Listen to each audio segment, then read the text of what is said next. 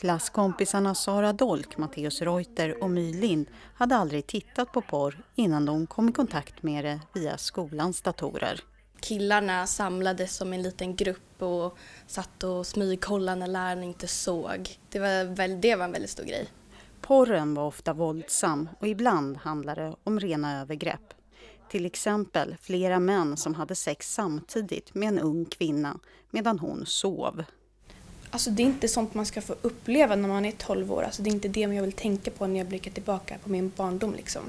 När TV4-nyheterna har intervjuat de politiska partierna har alla utom SD varit för ett porrfilter.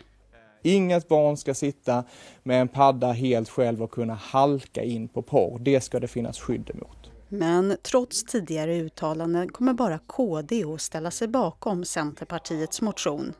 Miljöpartiet menar att man inte brukar rösta på andra partiers motioner och att regeringen arbetar med frågan på annat sätt. Men Centerpartiet håller inte med. Vi har inte sett eh, några signaler på att det är ett pågående arbete. Eh, varken i direktiv till Skolverket eller i någon form av utredning.